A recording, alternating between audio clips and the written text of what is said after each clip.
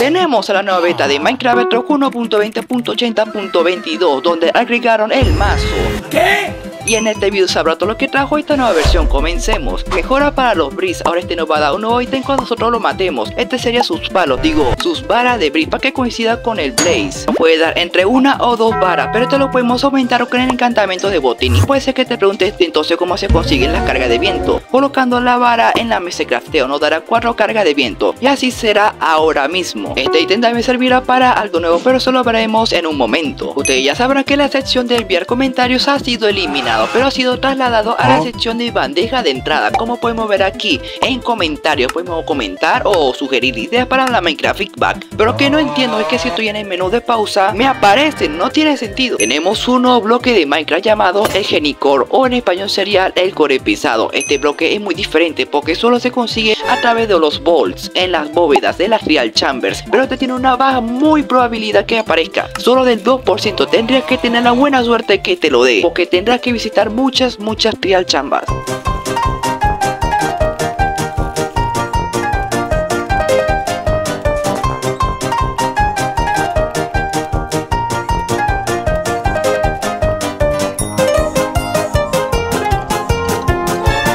Es muy difícil, este bloque sobrevive a la explosión de la TNT a la lava y dura mucho al picarse con un pico, pero tiene un gran uso que lo diré en un momento. La Trial Chamber ha sido actualizada con nuevas salas de combate y un rediseño a la estructura. Esta es una nueva estructura que podemos ver que hay demasiados Trial Spawners Balls generados de Breeze, pero el lugar es demasiado corto para que sea difícil. Ahora los bloques de andesita pulida y bloques de cincelado de tufara van a rodear el bloque del Vault y en los pasillos podemos encontrar más Trial Spawners, así para que haya más dificultad. Y también en los jarrones podemos encontrar nuevos diseños de arqueología, pero lo veremos en un momento. El botín que nos da el bloque Bout ha sido cambiado. Ahora este no puede dar carga de viento, un nuevo patrón para los banderines, no adorno de armadura y el heavy core. Pero ahora esto no nos van a dar armadura de caballo ni silla de montura. Posiblemente ya lo hayan visto anteriormente. El nuevo armor ring de la Real Chamber se llama Flow y este de color azul. Y este es su diseño.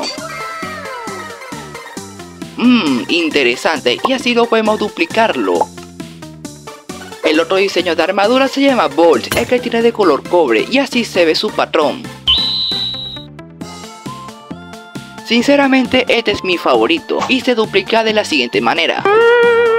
Y ahora tenemos dos nuevos patrones de banderín. Este que tiene así como un diseño de bris que se ve bastante chulo. Y este que parece como si fuera de un viento se ha agregado tres nuevos fragmentos de cerámica en la Real Chamber, solo se encuentra allí. Y este tiene un diseño de un hacha, un breeze y un viento.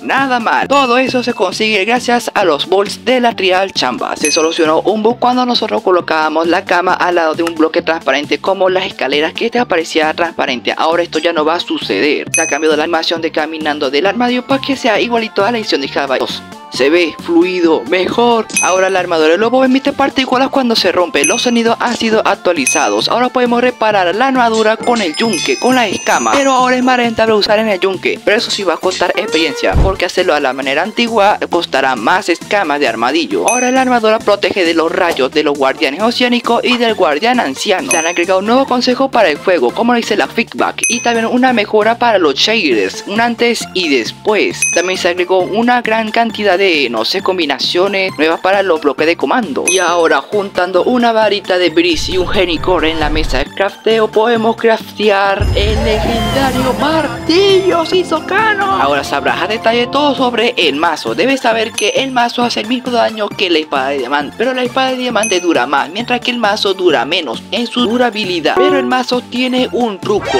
secreto. El truco con el mazo es que si nos tiramos desde un lugar bastante muy alto es que haremos más daño de lo normal y así podemos acabar a todos los enemigos de un solo golpe y está bastante roto. Aquí yo spawné un zombie normal y aquí le voy a tocar así como normal con el mazo.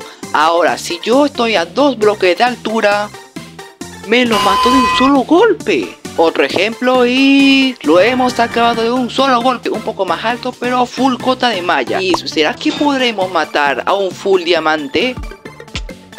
¡Podremos matarlo! ¡Dios! Está roto. Nerfen esta cosa, la mentira. En mi opinión, al conseguir el martillo que está bastante roto, pero es demasiado difícil, creo que está equilibrado. Lo que sí es que nerfen un poquito, no mentir. No importa la altura, podemos matar a un mouse de un solo golpe. Vamos a poner a prueba con el Wither. ¿Será que lo podemos matraquear? Estoy usando las elitras, me estoy elevando.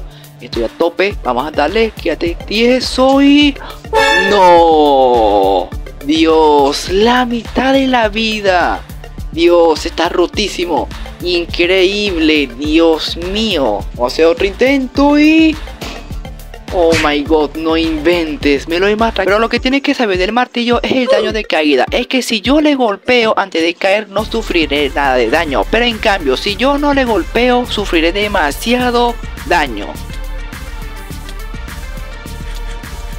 Te diré un truco, primero usa la carga de viento, luego te levantas y caes con el martillo, así para matarlo de un solo golpe. Otro bloque que puedo usar es el andamio, te sirve para construir rapidito, subes y bórralo, facilito. Pero y el martillo no se queda atrás, es que tiene también otro truco, es que si hay demasiados mods y le das con el martillo, los demás van a salir volando como acabas de ver. No hacen tanto daño, pero te da como un chance así para escapar y luego usar la winchar y después el martillo. Un combo y un truco es que el martillo es el mejor arma de todo el Minecraft, en mi opinión, Dios, pero necesitan un nerfeo y un buff.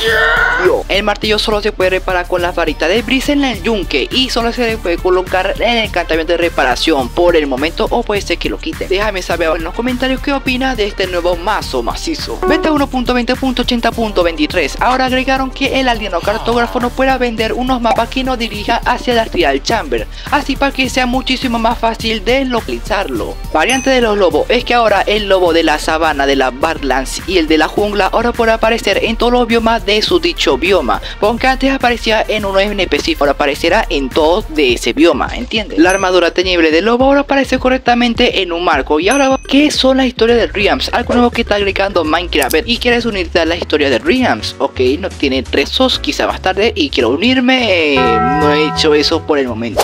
¿Qué me da aquí en la primera?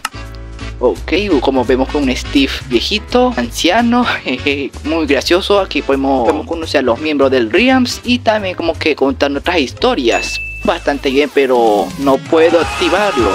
Y ahora veremos un nuevo código que buscar jugadores en la nueva interfaz. Podemos compartir, está bastante bien, muy bien hecho. Pues aquí nos sale amigo recomendado. Y los demás serían seguidores, eh, no entiendo muy bien. Y hasta aquí hemos llegado video. Espero que les haya gustado el video. Recuerden suscribirse, darle like, es completamente gratis y lo veo en el nuevo video. ¡Chao!